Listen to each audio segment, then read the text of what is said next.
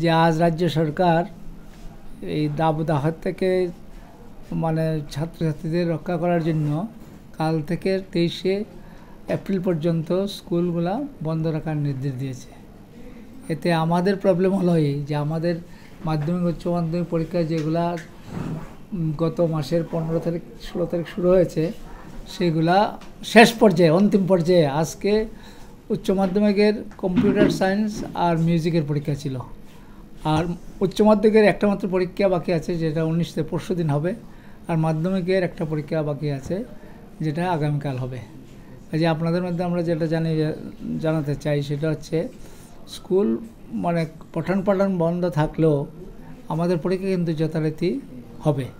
না হলে আমাদের শিডিউলগুলো একবার টোটালি চেঞ্জ হয়ে যাবে। কাজে আমাদের কালকের নির্ধারিত পরীক্ষা মাধ্যমিকের ভোকেশনাল সাবজেক্ট সেটা হবে ত্রিপুরাতে সারা রাজ্যে একশো আটটা বিদ্যালয় আটটা বিদ্যালয় হবে।